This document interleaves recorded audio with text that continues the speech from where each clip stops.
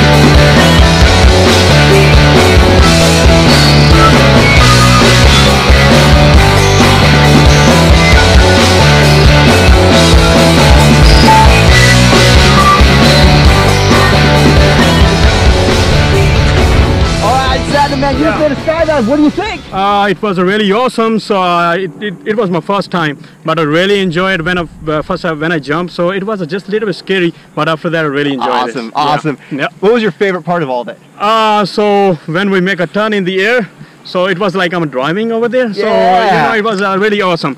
So, but I that time I was a little bit scary too. So, but right now everything is okay. But it's You all know, fun, right? Yeah, all fun. But it was the first time, but that was uh, really awesome, man. I want to do again, man. Yeah, but big high five, big thumbs up. Yeah. So, blue skies, Blue skies. skydive Taft. we'll see Taft. ya. Bye.